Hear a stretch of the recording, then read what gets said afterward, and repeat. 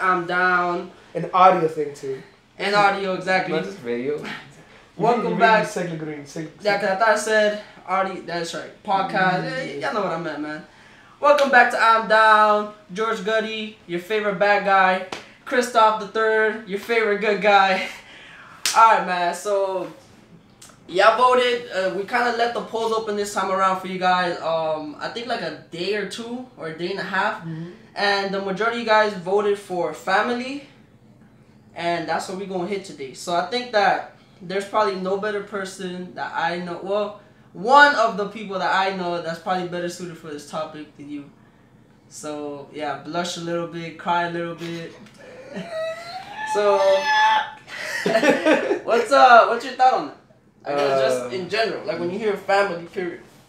When I hear the word family, La familia. La Familia. Been inducted and instructed. There's so many niggas that already fuck with. Hey. Fuck us up. Hey. That's Drizzy, No, no, but Jay Z was right though. It's La Familia, you know? Mhm. Uh, you, did, you did come up with that, right? Yeah. You did? It was him? Yeah, La Familia. I don't know, but I just got into music today, bro. you just had to hear Scorpion Today, and yeah, that's today. it. It's like, yeah, that's it. bro. Oh man. So family is interesting. I think family is, is cool because it's people you you know you don't choose, but at the same time you know part of understanding is that there's some people you do choose, right? Right. Like family is is you know as valuable, is intrinsic, is it adds character to you. It's the way you are brought up, all these things, you know. But it's also ties, you know, like those like those ties that bind you, that keep you grounded. Hopefully, that that remind you of where you are, where you've been, and where you want to go. You know, many times we all say things like, "Oh, I just want to be successful so I can take my parents out of the hood or whatever." Something like that. You know, and it's that's all a reflection of our familial ties. You know, and it brings us back to to our goals and it drives us. But it, most importantly, it brings us back to who we are. You know, a lot of our identity is gonna be found in the people around us. You know, and so that's why I always say, family. You know, some of the family you you you're blessed with, some of the family you get to choose to be blessed with, right? You get to pick them, and so I, I think that's good. I think family is you know it's everything. You know, it's it's I, I always tell you this. I don't have friends. Like you know, I, I really don't have friends. I can't name friends. You I either have family or acquaintances Right. because you know the moment like I, I feel like you know you've shaped my life you know some way shape or another uh or you impacted my life or you've been there for me you know or you've helped me out or whatever to me you become family and, and i'm forever indebted to family Right. acquaintance is something different you know So you know, um, for me, I, I think I, I could agree. Um, I think that like the, like family itself, like you know, like the concept of being blood, I'm more closer to people that aren't my blood than people who Mhm. are, right? I mean, I have like cousins like everywhere, and you know, like we barely have communication, stuff like that. Just cause, you know, for whatever, everybody, you know, everybody's direct family, as in the people in your house, is very different when you Mhm. grow up. So coming up, I feel like it, it really is your friends, those people in your life that become so close that you consider them a family, that you arrive for them for real, that end up pushing you. Mm-hmm. And I think the importance of that is that it's just that, like, you know, you gotta find those people that you yoke well with to help you grow. You know what I mean? Like, like at, at the end of the day, mm-hmm. these people in your life, the people that are helping you grow, the people that tell you the things that are hard to hear, that nobody else is really telling you, those are the people that you need to hold on to the most. You know what I mean? Those are the people that you need to grow with the most and really, you know, try to find a way to to really like connect in a Mm. way that is beyond just like, oh, we're friends who chill on the Yeah. weekend and that's it, you know. like, what I mean? like, like the on the surface kind of thing and I, I think it's interesting uh, because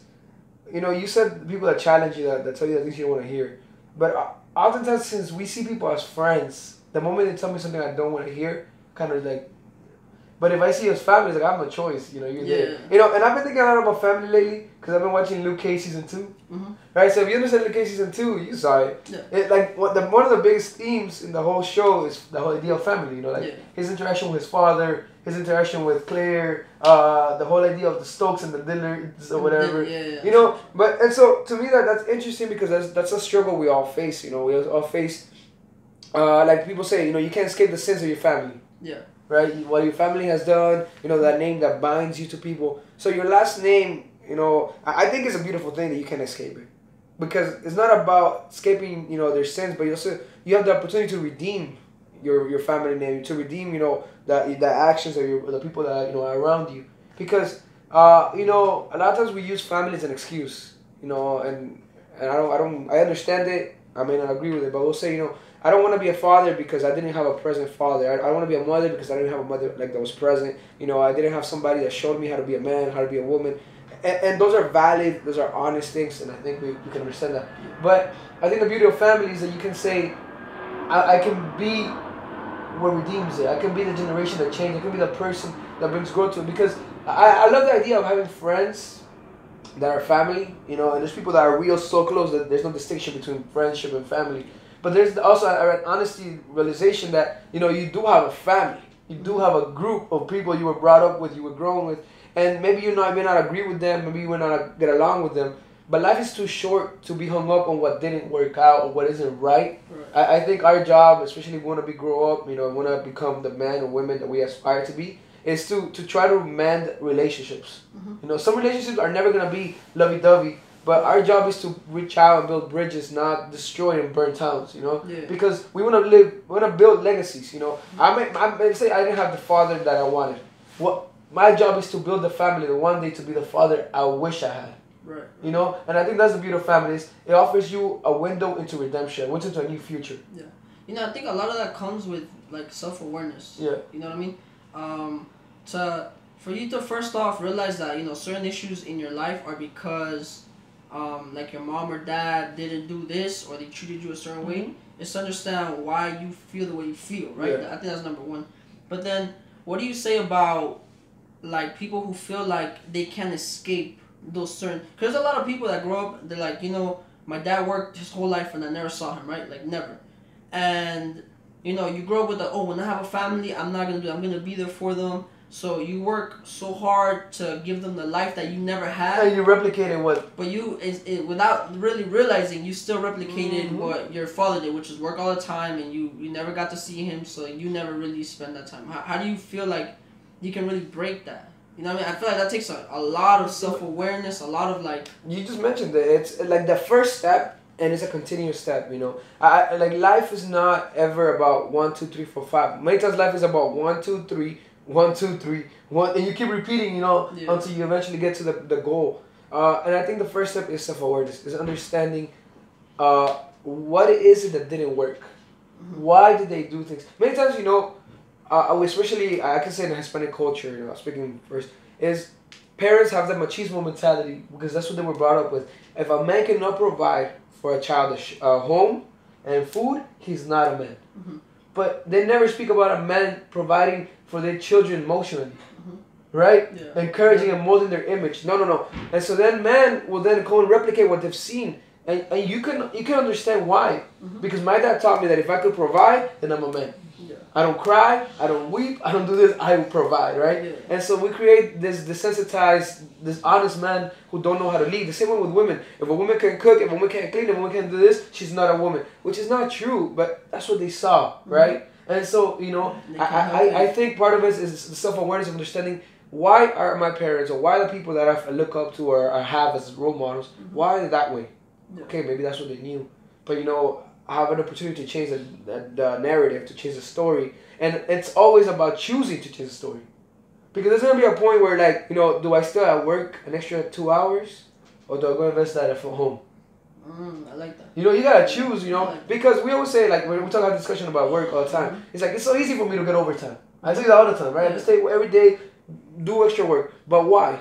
I rather go home five o'clock and handle other stuff that I cannot lose sight of. Yeah. And it's a decision of saying, you know what, money is a great, but money cannot bring you back memories. Money cannot bring you back those moments. Mm-hmm. And I think that's when we have to be not just self aware, but self disciplined. Yeah. So you know, like you said that too. I think a lot of us forget about the most important luxury that we have and we talked about mm-hmm. this like a few episodes back about the luxury of time and it, it, it's so like it's important what you said invest your time because at the end of the day that's what you really have you mm-hmm. know like um when you start to think about about just you know the the time that you are with your family like, like even if you don't want to be there that might mean everything to them you know what i mean so i mean for me it's something that like i don't really i guess like never really has hit me because like I don't, I feel like I've always been like everywhere else instead of my house. Mm-hmm. You get what I'm saying? Because my parents are usually just like chilling. So those those little things kind of like at least make me feel like for the future. Like you know, we've had this conversation like, oh, I don't feel like I have kids because emotionally I don't think I could be there for a child. Mm-hmm. You get me?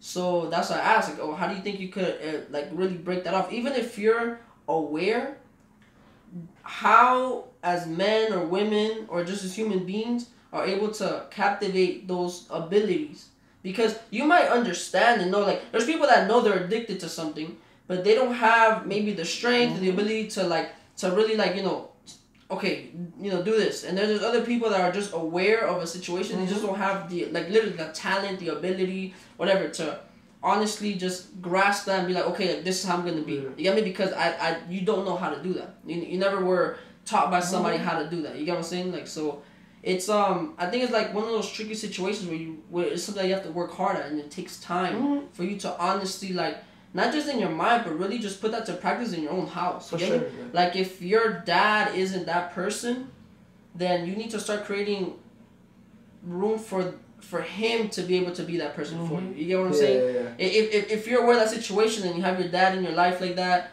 then it's definitely I think and I was just thinking about this um like a few weeks ago. Like I was telling my little sister that you know, I think that, you know, we've had opportunities that our parents never had. You get me? For opportunities sure. to see, you know, things through other people's eyes. We're born in an era where we're it's much more open. You know, in the United States, and like you know, you said we're Hispanic, so my parents weren't born here. They didn't grow up here. My parents came here until like they were like in their twenties already. You know, so by then you have kind of more of a foundation mm-hmm. on on how you think.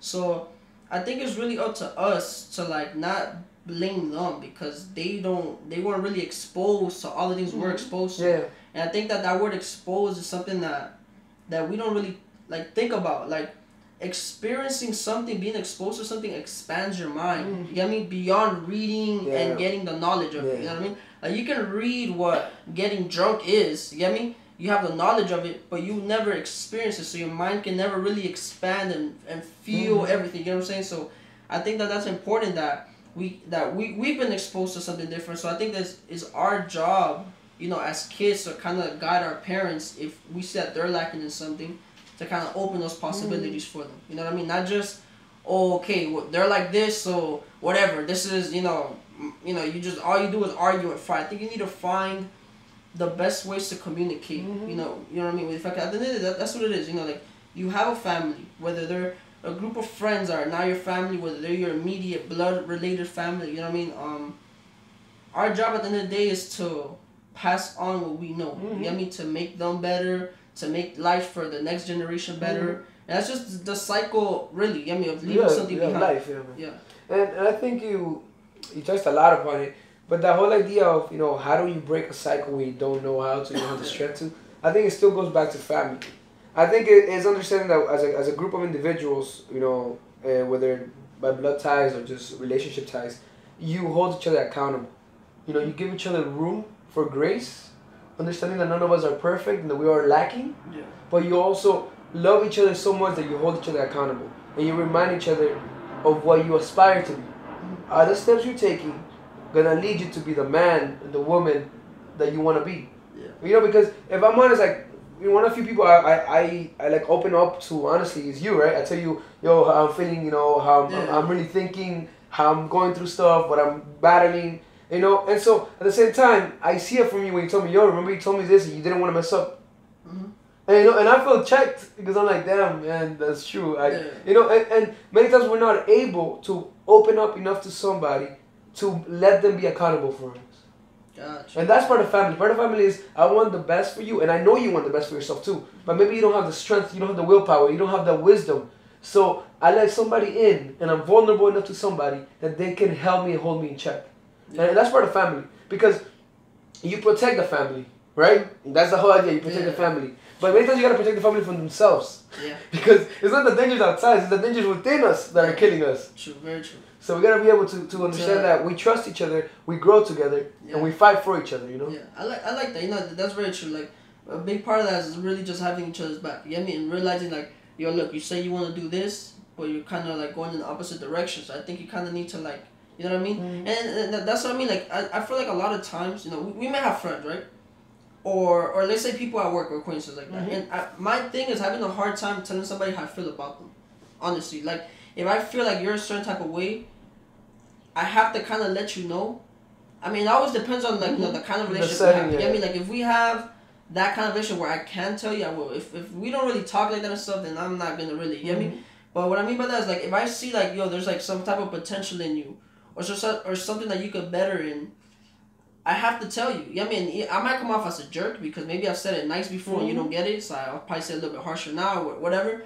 But I think that that's just that's just everything. Like you know, we we need to be told things that we don't want to hear. You know what I mean? Like like you might be doing something that that like to somebody else they're looking at you doing and it's like yo I think you could like you know you should probably like leave your house. You know what I mean? So you could like you know ex- Mhm. expand your mind in, in the world, but most of us don't want to really leave that comfort zone. You get me? That that safe space. that safe space. So when somebody comes to check us, we kind of look at them sideways and, and almost make them our enemy. You I mean? Like we're, we're on Mhm. the defense, and and that that's that's something that, that we have to like really look into ourselves. You know what I mean? Like I understand like the person coming to you has to be able to tell you in a way that doesn't allow you to get a defense. Because a lot of times if if I come to you and I tell you something, but in a certain kind of tone, yeah. you're gonna get defensive. It's not you're what not you said, me it's how you said it. Exactly. Yeah.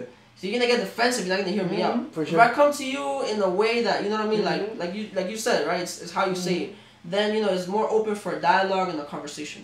You know I Yeah. mean? So I think it's important on both ends, but I think it's important nonetheless. You know what I mean? To like if you feel like somebody is is out of place, out of line, doing something that they're that you feel, you know what I'm saying? Like yo, I don't think you should be doing this.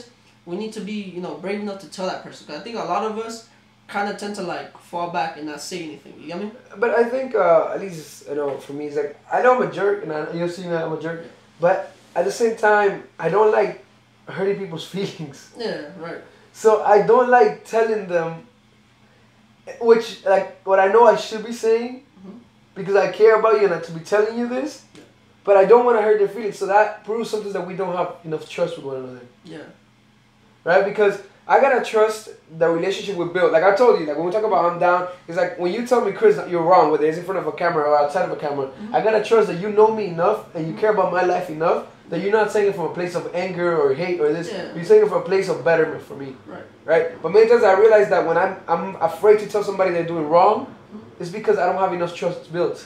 So it's not. really- So then I started realizing that maybe they weren't as close to me as I thought they were Mm, because I was too worried about their feelings instead of their growth. Mm. You know, the people I'm, I'm, I care about, they know who they are. Yeah. I'll tell you, dude, you're, you're being whiny right now. You're Mhm. being extra right now. You're being dramatic right now. George, dude, you're tripping out, bro. Relax, you know. time, You know, like you know, like yo, you're being a savage right now, bro. Chill. You know, because I I have that trust where I know that I'm looking out for the person that I know you are, Mhm. not the decision you're about to make, and that's important. I think that that trust needs to be built because many times we think we're closer to people than we really are, and we're not. We just like to have good times with them, and that's a big difference. Right. Yeah. That's that's and I, I like I like that you said that right there because that's very true. There's a lot of people that like they're they're fun to be around, but we don't have that. You know, and I'm just thinking about it now. It's it's funny, but like. I guess it also comes down to the kind of person you are. You know what I mean? And and the kind of um the family like you've been like you know into because the truth is like the people around you in general like you know like, like let's let's say we, we remove the word family Mhm. friends all of that let's, the people around you in general are the people that influence you the most For sure. you know what I mean Yeah. and those people you Mhm. start to get pieces from them Yeah. yeah. little by little yeah you start to without really realizing yeah I mean Mhm. just little by little you, you find yourself oh I'm saying this now or I'm listening to this now or I'm thinking like this now because ju- it's just an influence in Yeah. life, you know that's what I say like there, there's just this big part of being positive with everybody you have the people Mhm. around you so you can take that in. But that's very true man. Like at the end like the people around you make sure that those people are like you know real enough for you to have those kind of like the hard conversation Yeah. with you. I mean i think that it's all fun and games and ha ha ha's but you know when when when shit hits the fan we have to be able to have those tough conversations with them. You know i mean not just like just nonchalant kind of like, you get me yeah, let's have a vibe time. yeah, yeah so because I think also part of it is um, you know, we talk about self awareness, but many times self awareness does not happen until there's openness and discussion. yeah Because somebody somehow has to be able to see through the, all the nonsense and pull out of you the truth. Yeah. Because many times we can't put out of ourselves. We we're too good at putting excuses for ourselves. mm-hmm. So somebody has to keep challenging. No, no, but why do you think that? Because I do. No, but why? And why? And why? And until you have that breakdown that leads to a breakthrough where you're like, no, no, it's because this happened to me when I was little, or because my parents were like this, or because of this, this, this, and this. And then you realize, whoa. That's why. That's why. Yes, I mean. But we need that driving from each other, you know? Mhm. Where it's like, no, no, I see the potential. I see the growth. I see how good or great you can be. So I'm not gonna let you settle for mediocre because I'm not gonna be that friend that just tolerates you. I'm gonna allow you to grow. Yeah, I think that's so important. Um, I was thinking the other day, somebody said how the greatest, like the greatest basketball player right now, like you know, which like by popular, I guess, demand or voting or whatever is LeBron James, right? But the best like basketball player right now could be typing in a cubicle right now. You get me? Like, and, and you don't realize it because within himself, he can't see the full potential or the full, but somebody else might. And that's just in, in that example. It could be anything. You know, the greatest writer Mhm. right now could be shoveling, I don't know, dirt and construction thing right We now. always say the story of Michael Jordan getting, uh, didn't make in the JV team when he was in 10th grade. Right, right. Michael Jordan Michael did not Jordan. make basketball team. Exactly. And now he's like the goal of all. but imagine if he would have stopped. Exactly. You know, and, and I'm sure that he had people push him. I mean, he had somebody, you know, like helping him out because otherwise, most of the time, we'll probably give up on things. You know I mm-hmm. mean? That, that- I think that's the point. I think that I'm saying, like, look, I, I know people, like, you might want to do something and you say it all the time, oh, I want to do this, I want to do this, I want to do this, and you never do it. You know what I mean? That's when people that hear you say you want to do something need to come and say, hey, did you do this? Because trust me, that's going to make you very uncomfortable. Of course. You're gonna be like, no, it's because you know this is going on, and no, because and you try to make excuses, but you don't really like stop to think like I haven't done it because I'm just lazy as Mhm. fuck, and you know I just don't, you know what I mean? Like, and that's, just true. Like when, when when people start to checking those things, you kind of see people like. Like try to like kind of change the Yeah. subject and they don't really want to talk about it because some of us don't. Really we'll, we'll, lash, we'll like backlash too. We're like, you know, like relax, man. Like you're not my mom. Yeah, exactly, and, that's what I mean by you know we start getting defensive. So I mean, overall, man, I think family comes down to not just you know people that you know is, is your blood. I treated today that um and I'm down, um just to kind of give you know people with more reference. Like okay, that's what we're gonna talk about because at the end of the day, it's true. Like family are your friends. You know what I mean? Family is not just your cousin and your brother and your mom and your dad and your aunts. There are people that you find in life randomly. It could be when you're young at 10 years old in the playground, I don't know, or it could be when you're 50 years old. You get me? We find people all around the world that just that you know cause an impact in our lives to change for the better, to grow for the Mhm. better. Because at the end of the day, that's what we're here for—to grow, to get better. You know, and then we do that through communication and conversation. Yeah. At the end of the day, so And I, I think you covered it. Uh, one thing I would say, honestly, and this may not be comfortable to you, but I'm gonna say it, is um, I understand some family relationships. Now speaking about blood, are not okay. And, you know, things have been done to you or things have happened in the family. But let me tell you something. You know, you might not want to aspire to have the perfect father, daughter, or mother, son, or whatever relationship, but you should try to mend relationships to the point of talking because it's gonna come a point where God forbid, you know, lives end Mhm. and you're gonna wish you did. Because you're gonna live with the pain and the regret and, and grudges It's like, you know, people will say grudges or, or bitterness is like you drinking poison and hoping that other person dies. You know, It, it consumes you. It kills you. And, and I see it all the time when people in like their families because you know a brother or a sister or a cousin or uncle or a mom or a dad. So I understand. I can relate. You know, but for your own growth, for your own self freedom, like your deliverance from it, you know, you gotta take the step. You gotta be the one that says I'm sorry or I love you or this because pride. You can take pride to the grave, or you can take love to the grave. You choose which one you want to take with you. Yeah. You know, and at the end, you always say it. You know, think more about your funeral than you do your Your bank account. your bank account.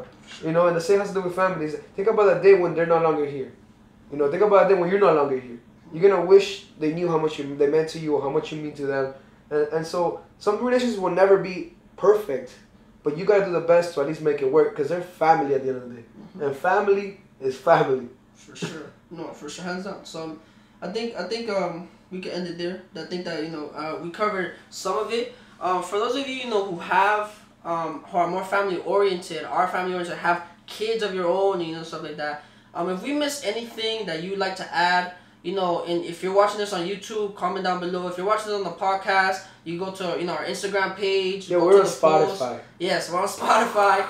And uh, you can't comment on no podcast know, nothing, but you know, again, you go to our Instagram page. DM everything, DM whatever. us and you know let us know if we missed something. You know we um one thing that we do love is to go back to the messages, the comments, and kind of see you know like how you guys are feeling. Like oh you know if you guys check us and say oh we don't like how you know this is you know I, I like the little community that we're starting to. Yeah. build up. You know we've been at this for like mm, like Two months. Like, yeah, a little like mm, couple days over two months. So we're liking the community that we're starting to build. People interacting more and stuff. We appreciate you guys for watching.